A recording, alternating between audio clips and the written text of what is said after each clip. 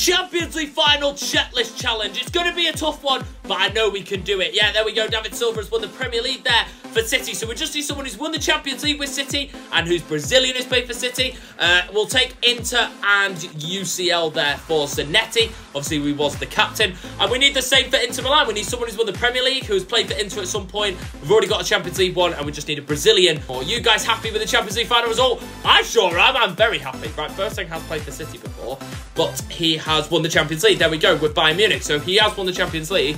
Oh, and City Brazil there for Fernandinho. City is complete. Nationale. Uh, so we need, obviously, there we go. There's the Brazilian. And we, have I made this too easy? And we just need someone now who's won the Premier League and played for Internazionale. We just need somebody that's won the Premier League and played for Inter. There we go. We've done it. Checklist challenge complete. Did I make that too easy? I thought that was really fun. Let me know what you guys think.